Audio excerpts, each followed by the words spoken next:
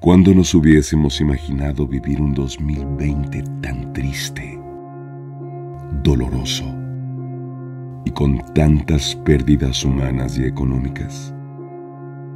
En un abrir y cerrar de ojos se nos esfumaron planes, proyectos, metas. De pronto, perdimos la paz, la certidumbre, el camino cotidiano. Familiares y amigos que iniciaron el 2020 hoy ya no están. A muchos, un virus los mató. El 2020 nos recordó con crueldad que los momentos son un suspiro, que la vida es fugaz, que nada es para siempre. El deseo colectivo es sepultar ese año en el olvido.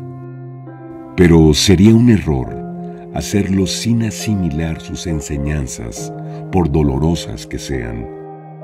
Las pérdidas nos deben conducir a valorar al que está al lado, respetar al que está enfrente, ser solidario con el prójimo, abrir el corazón y transmitir los sentimientos, a perdonar, a reconciliarse con uno mismo y con los demás, apreciar lo simple, aprovechar el estudio, a cuidar el trabajo, a esforzarnos por ser mejores, a vivir en paz.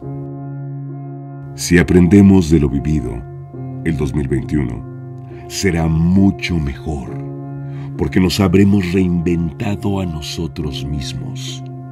Solamente así estaremos listos para seguir adelante y alcanzar nuestros sueños.